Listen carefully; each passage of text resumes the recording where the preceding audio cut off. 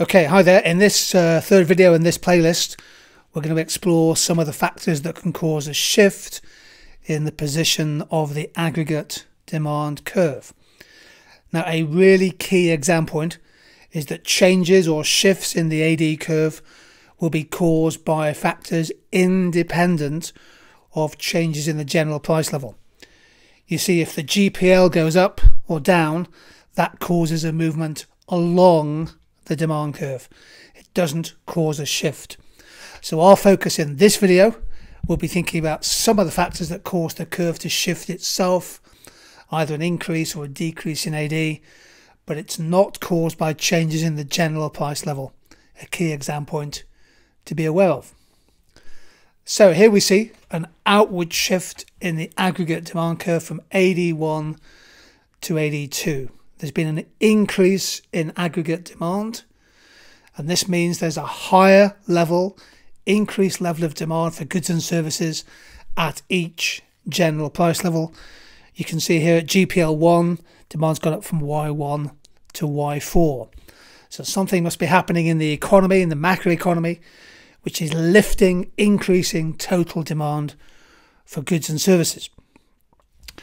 One or more of the components of demand, C plus I plus G plus X minus M, one of the one or more of those components must have changed to bring about a shift in the demand curve, and they will have been caused by particular factors. Equally, there could also be uh, an inward shift in AD. AD1 to AD3 is described as an inward shift of demand. What that means is that there has been a fall in the level of goods and services bought at each general price level. AD1 has shifted to AD3. So, what are the main causes of shifts in the level of AD, the position of the aggregate demand curve? Now, there are many, many potential factors. We're just going to isolate and talk about a few of them that will get you through good exam questions. Here are six. Uh, the key point is mentioned at the bottom actually that shifts in AD have both domestic or internal and external causes. So some of these factors include changes in real incomes and employment. Uh, how much money do people have to spend?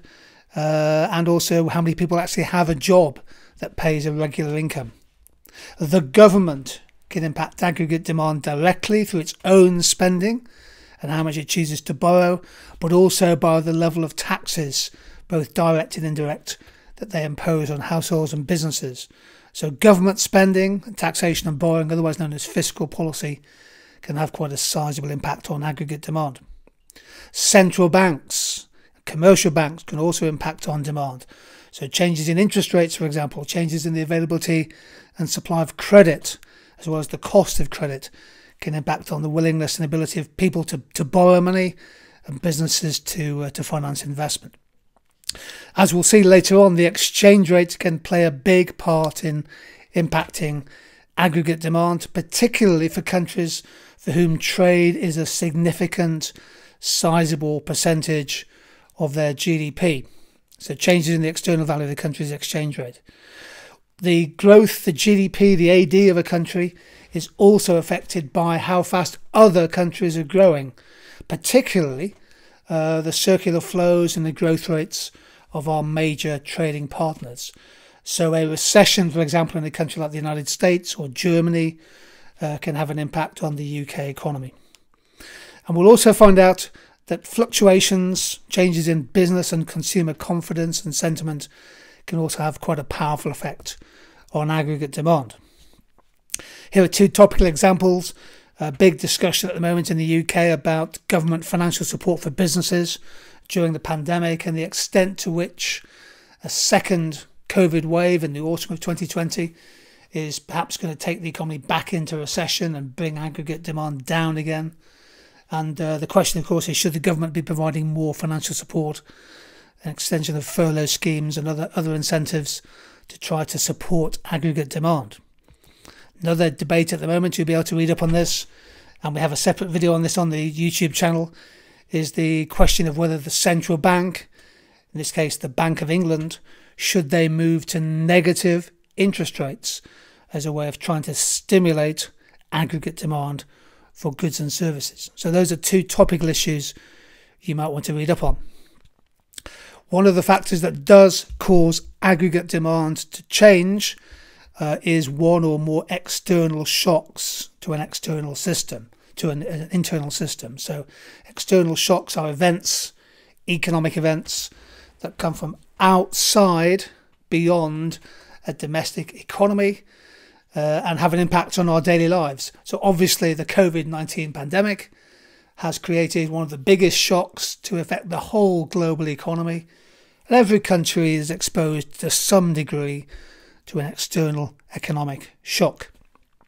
Some brilliant analysis published by voxeu.org. Some economists have been doing some great research on the shock impact of the pandemic. Uh, they've said it's a global shock like no other simultaneous disruption to both supply and demand in an interconnected world economy.